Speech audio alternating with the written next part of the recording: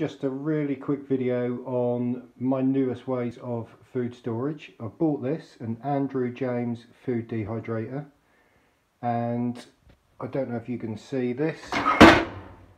See the size of this? This marrow.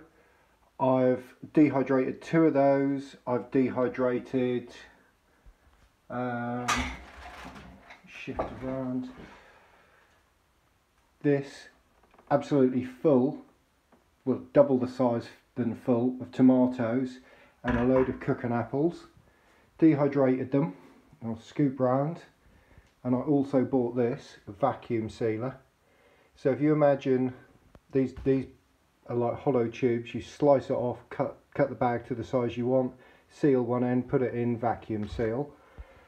If you imagine this is a trainer box, I've got some new trainers this is half a marrow. That's the other half. In here is probably six, maybe seven cooking apples sliced. The same again in this bag. Put them on the top there. Again, these two bags.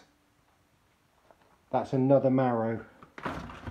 And then these four bags are the tomatoes. In this bag alone are I don't know if that was six or eight maybe ten beefsteak tomatoes. Absolutely gobsmacked. And these are there's three three here of cherry tomatoes which were basically that colander absolutely full of tomatoes all of that. Stand back a little bit.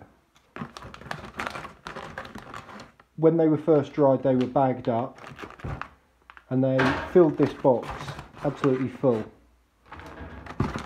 Um, I could get nearly half again as much in there.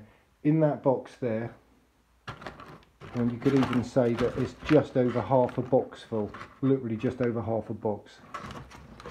Half a shoe box has got in it two huge marrows I don't know 10 12 I forget how many I said cooking apples 8 or 10 um, beefsteak tomatoes and a whole big colander full of cherry tomatoes all dehydrated and all stored because our freezers are full um, and we we we can just rehydrate stuff. The tomatoes can go in cooking as they are, as can the marrows, go in stews, go in anything like, um, you know, if you're doing something with mince and you want to bulk it out a little bit, get some veg in there. It's a good one for sneaking veg in for your kids, is to put some veg in with your mince or anything like that. But yeah, all of that veg in that box,